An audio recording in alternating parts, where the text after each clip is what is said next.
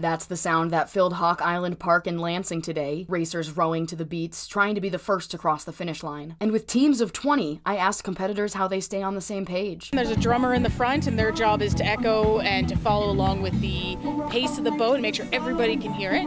Then we have the pacers, which is row one, two, and three, and their job is to set the rate. Row four, five, six are the engine room, which is again where your weight is and your power. The last few rows are the rockets, and their job is just to put that extra little bit and just keep it going and keep going, keep going. Leah Champ came from Canada to compete today, and she's ready to live up to her last name. She's not new to the Dragon Boat, competing in places like China, Hungary, and Singapore. I use it to make friends and keep doing stuff, but it's also a really good sport for all ages. And all ages did show up today. Everett High School came out to compete. I, I think it's a great outreach for our community also, and it's just a great time for ev everyone in the community to connect and just have a good time together. The origins of dragon boat racing run deep. It originated in China um, as a tribute to a young warrior um, who the community just really wanted to love and rally around. And there are benefits to the sport as well. There was a study done that women who have had breast cancer and have gone through mastectomies, um, one of the best methods of exercise for them to build up muscle and tissue in the chest area is actually rowing. The five hour competition ended around 3 with the winning team F45 training receiving a prize. Proceeds from the event will go to the Women's Center of Greater Lansing. Organizers say they hope to double the number of teams competing in next year's race. Here for you in Lansing, Rachel Ramsey, 6 News.